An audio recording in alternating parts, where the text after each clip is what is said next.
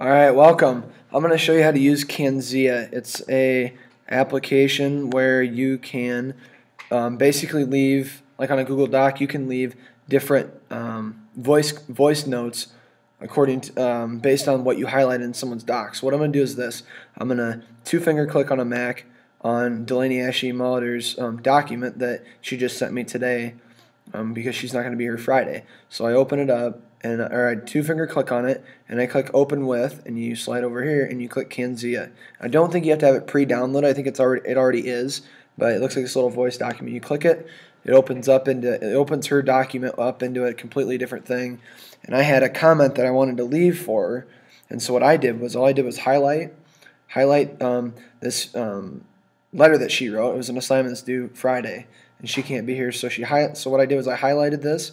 And I had a question about it, and she talks about these fearsome sea monsters. Well, I wanted her to, to explain more, and I just wanted to try a voice one out because it's easier. The kids can hear it really quick with headphones in, and she's going to be in a place where she can't. Um, it has to be quiet, I guess, for some reason. So I highlighted this, and um, then I clicked or I clicked the voice button. I highlighted it, and then she and then I recorded my voice, and now she can um, click in here, and once I click it, I click my receiver over here, I click her name, and so let's say I want to do this one. Let's say this, I, I have a question about this right here. So I highlight it, and I click the thing, and then I click record, and I say, hey Delaney, maybe you can um, kind of expand on that sentence right there a little bit more. I don't really understand what you mean by that.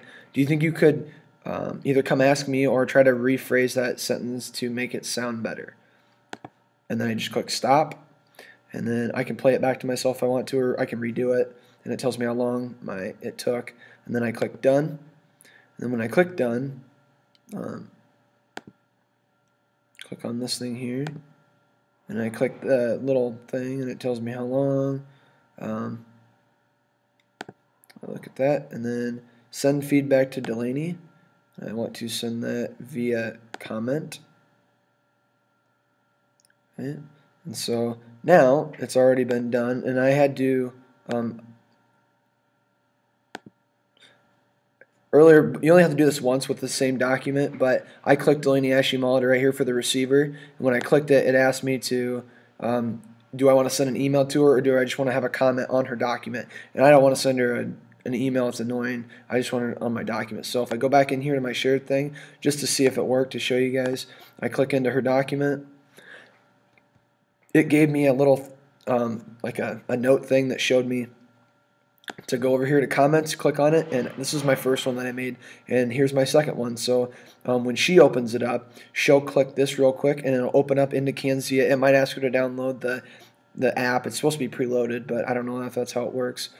But um, she just clicks the link and it takes her, it opens the document up in Canzia, and she gets to listen to all the voice things that um, that I created for her, and then she can go back and check those out. So just one of these cool little features. It's not, I don't know if it's an app or not, but one of these cool little features that I kind of found out, and um, if you want to try it out, it's kind of a neat way to, you know, check things. You could do this for math, I suppose, if you had a, an online worksheet they were working on, you say, go back and you know check your work for this. Or in science, hey, um, this research right here, I don't want you to use Wikipedia. Please cite something different, or things like that. So there is a little my tutorial on how to use Canzia. Thanks.